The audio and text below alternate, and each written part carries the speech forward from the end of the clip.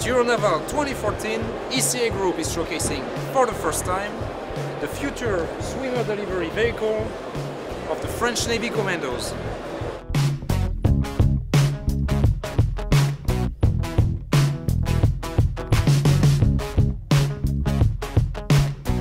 It's a swimmer delivery vehicle from uh, ECA, uh, ECA Group.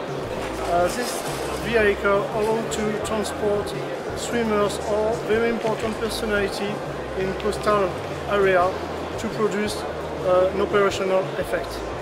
This vehicle uh, allows to uh, produce intelligence operations in uh, coastal area.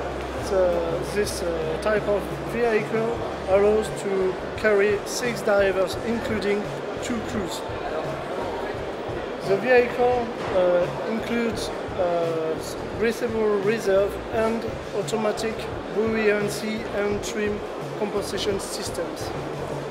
We have two thrusters to rotate and translate uh, on, the seabed. And the, this SDV is uh, designed for special forces. Inside you get uh, whole communication between divers and uh, uh, some other capability like acoustic communication, etc.